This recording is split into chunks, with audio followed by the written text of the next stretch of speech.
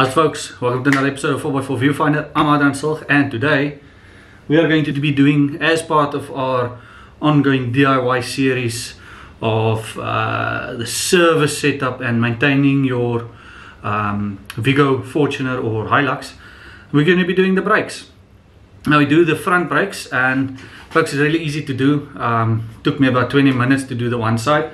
I did the one now beforehand because I wanted to show you what the discs look like um, after a period of time and you know what what to look for basically right other than that yeah um, I'm gonna explain to you the tools you need I'm going to show you exactly point for point what to do um, you need to follow these points strictly according to how I explained to you. Otherwise, you're going to eventually warp your discs and you're going to sit with the same problem you probably had beforehand. So if you don't do it right, or you do it in the, the way I'm going to show you, then you're going to have hassles. Then there's a second part to this uh, series that's going, or to this video um, that I will bring out on next week. And it's going to be burnishing the discs, right?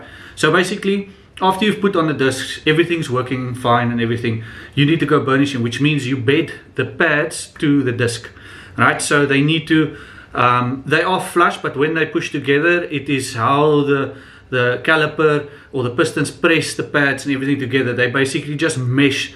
You need to make them mesh properly, and the only way to do that is to, you know, um, put it through its paces, basically.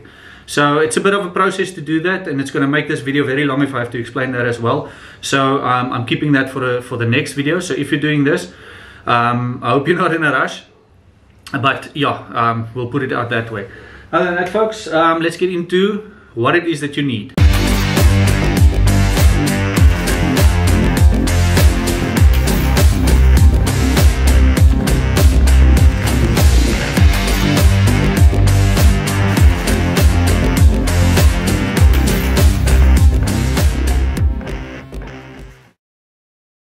Alright folks, basic things you need. You need a comfortable seat, a low seat to work on, a rag, a wire brush, a flat screwdriver, can be slightly bigger also, it doesn't really matter.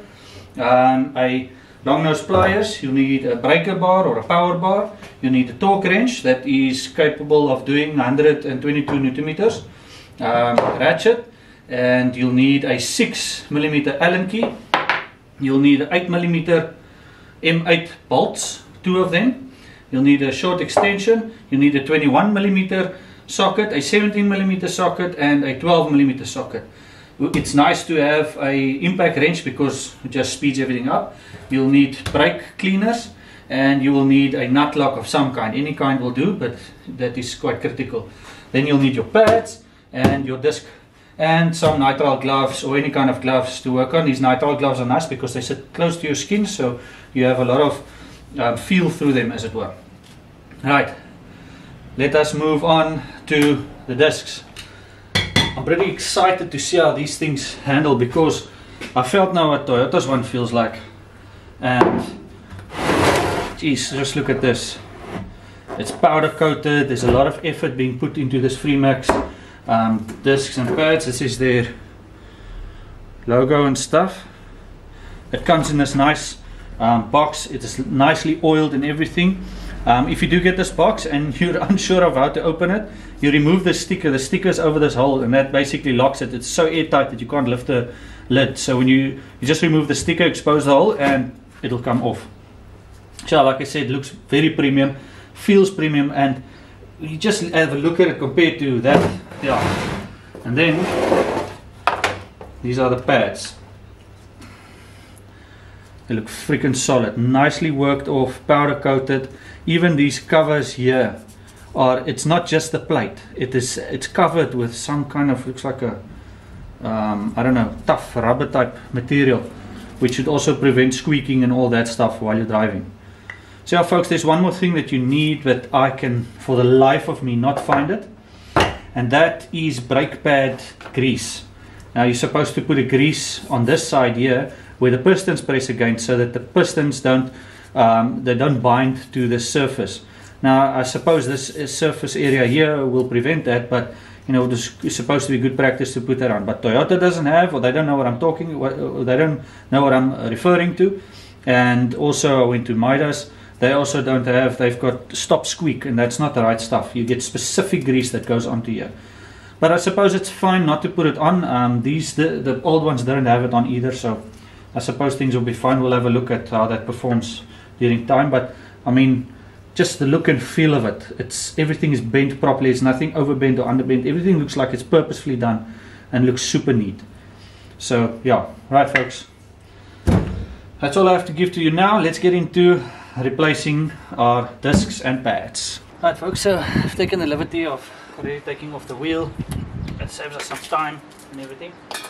Alright, so first up, these pins have a little locking pin here.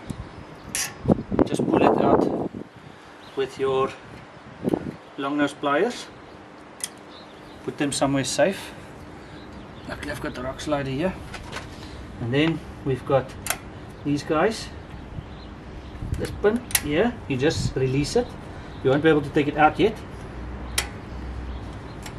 There we go. Right released. Now should be able to pull these pins out. Okay. Make sure you don't lose this. Now put them all together in one spot. And the top one as well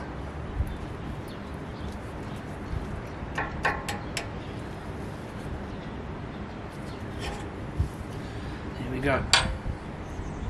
Wonderful. Right, now we can remove the pads, but, sorry, no, we're not going to remove the pads. First thing you want to do is, you're going to use these old pads and this because we don't care about them anymore. We're going to use them to press the calipers in, right? Now, the reason you do that, if you don't push uh, the um, pistons in, you are going to not be able to put in your new discs. And there is a special tool that you can use to press these back, but you know this way like I said you don't care about the disc pads. Let's let's get rid of them you know? So give yourself a little space.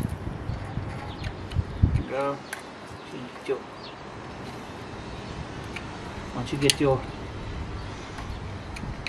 leverage in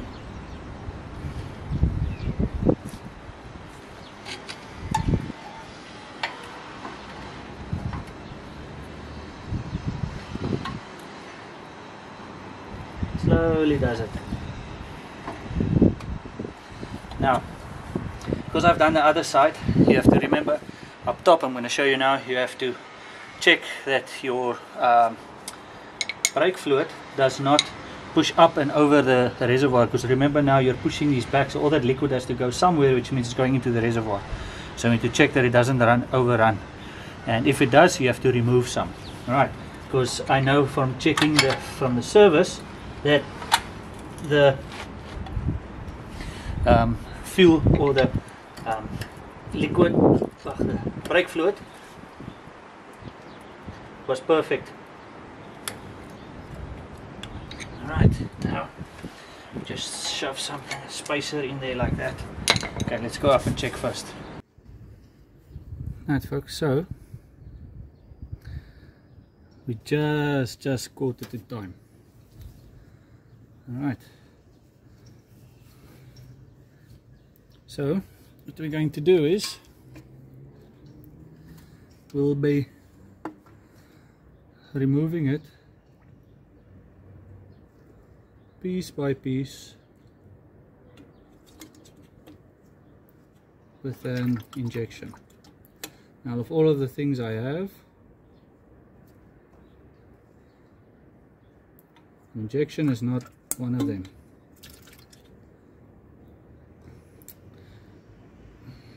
So suppose I'm gonna have to make do.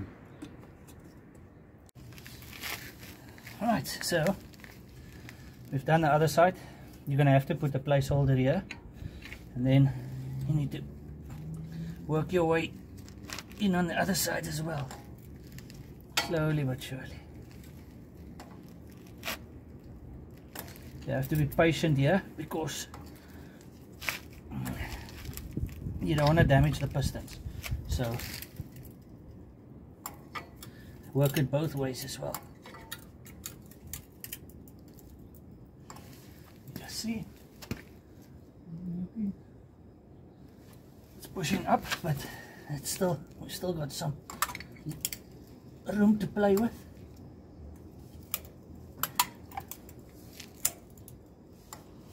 Now that they look like that, not a, a lot of space either side. Now we're going to take our two M8 bolts but let's clean this bolt holes first. Like that. And then we'll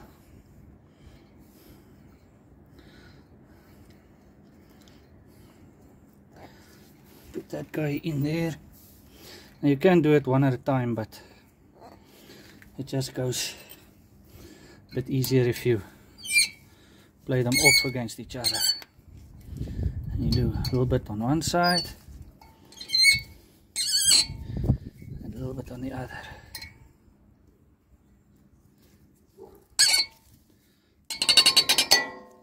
Yep there we go. There's a click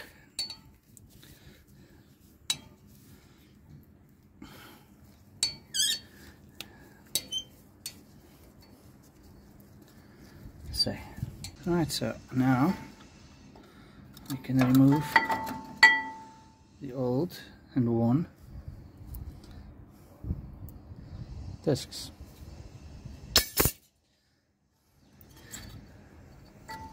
And they just slip out. Right. So if you're only doing your pads, then this is about the extent of what you are going to do and then you're going to put your new guys in and then Bob's your uncle all right but now next up what we're going to be doing it's going to be hard to show you this while I'm doing it but if you look from the top down let me just get this angle right here. This nut here and at the bottom that nut there right? That's a 17 millimeter bolts that you need to loosen. They hold the caliper. But in addition you also have to remove this 12 millimeter bolt because this from from this here to the assembly here on the spindle this is a steel pipe. So you have to remove this part here first. So when this is loose then you remove um, your caliper itself. And then we're going to hang the caliper around here with some cable sorry around here with some cable ties right to make things easier. You have to hang it this pipe here um, you'll put a lot of st uh, strain and wear and tear on it if you don't hang it. So basically that's what we're going to do next.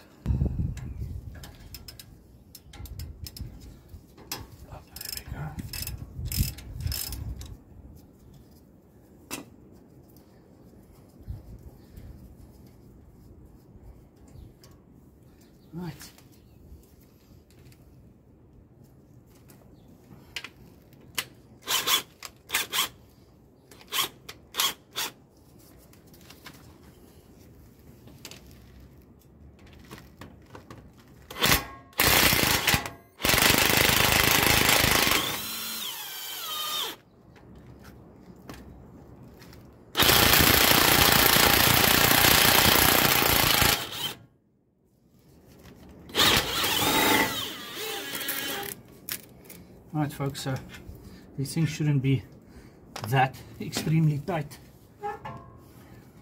But you see what I mean?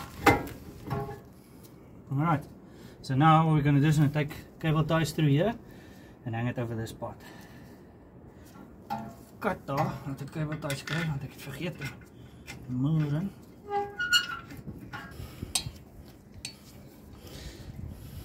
Alright, so yeah.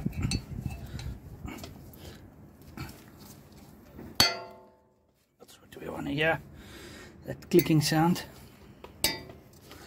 But here we go right. Here we go. Put it one side. All right so there's a culprit. What we're to do here?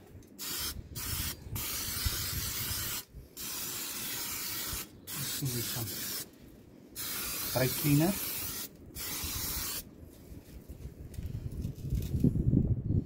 Spray the jams everywhere.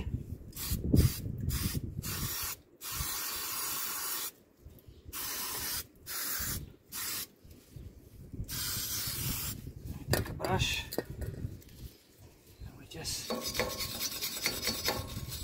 get in into as much as we can.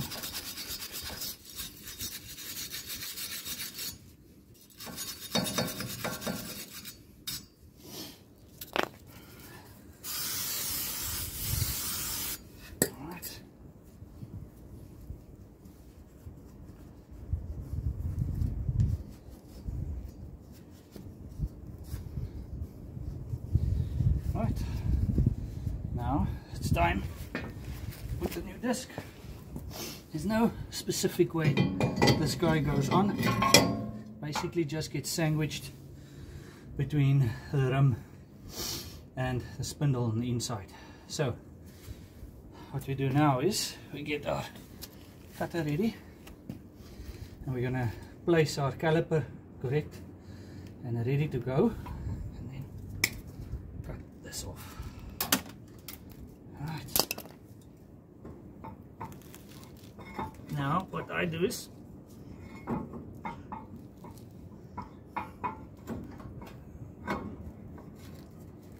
there we go.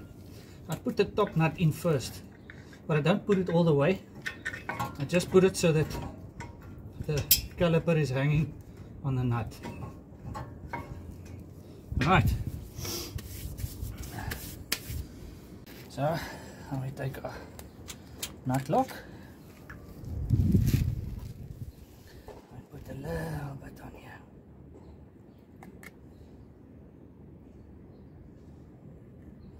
That's all you need. Now you line it, line the caliper with the bottom hole.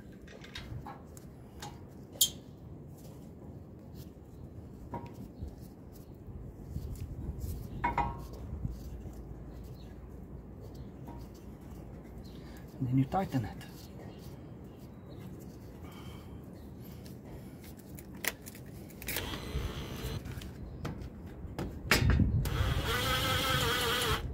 Not all the way though. We need to get our ducks in a row first. Alright, so we remove the top one now. And give a little bit of a squirt there as well.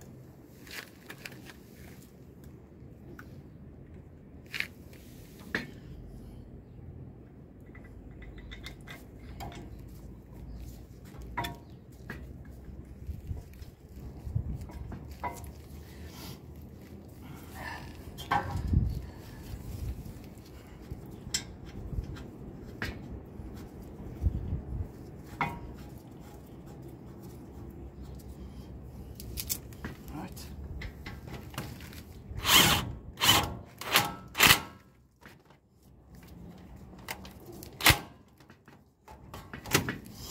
Right. Now we can tighten it. Now the torque setting for this guy. This is where we'll use our short extension as well. Is 122 newton meters. If anybody out there, please leave a comment in the uh, sub comment section below if you don't know the exact torque settings so i was at the toyota and didn't seem like they themselves know what the torque settings on these nuts should be the closest we got from the system was 122 but even that didn't convince me because ah, i wasn't sure. But anyway so i'm going off 122 if anybody knows the exact torque settings please let them know because on the internet i could not find anything. All right so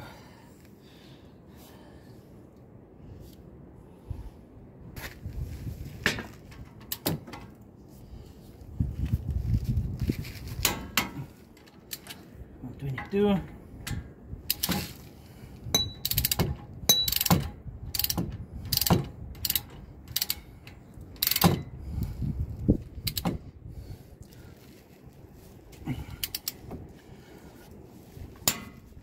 One twenty-two. All right. Now, we place this guy.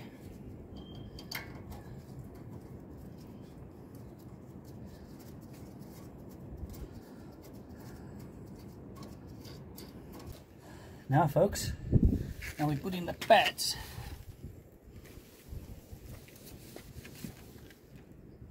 So, the guy with this little PP key on goes on the inside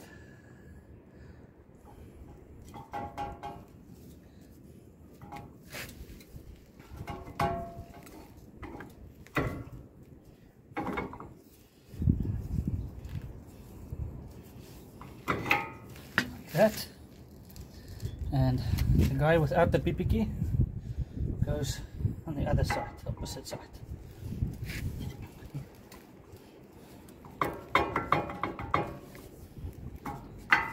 There we go. Right, now take your top pin first. Shove that guy in.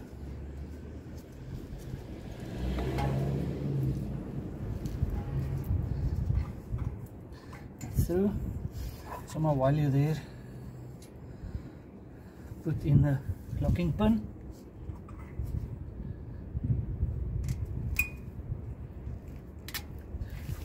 Go. Right. Now the fun one is the bottom one. Okay so this is the orientation.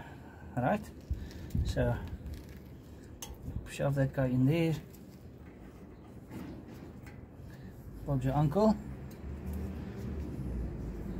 Put the locking pin in. Right.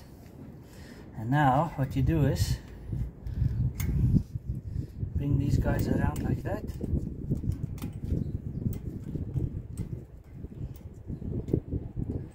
There we go. That's what we want. Wonderful, folks. Right, and then now you have successfully changed your discs and pads. Look at that nice tight squeeze. Alright, so this guy is still loose, but don't worry about that. Um, this is now a part where you put the wheel on and yeah, then you basically sort it wheels back on and then we go then we're going to burnish the the um, discs and pads. Um, but like I said I'm going to do that in the next video. What you do now after you've replaced your second disc um, you go inside you'll feel the first time you press the pedal that there's nothing. You just keep pressing and because now that liquid has to be forced back into the caliper and all that stuff because now you've you've expressed more than um, what is needed. So you just keep pressing on the pedal until it feels normal again. And then yeah you go for before you drive any long distance before you go anywhere go to the nearest open flat place um, and then you do your burnishing. And that's about that folks. So yeah. Right folks so join us again next week. Next week we'll be show I'll show you the burnishing. And uh, if you're watching this from the future um, just next video on the playlist. All right so yeah. Until next time folks Happy 4x4ing. Folks, one more thing before you go, and I have to stress this. If you're going to do this, um, do the brakes and stuff, you have to torque your wheel nuts.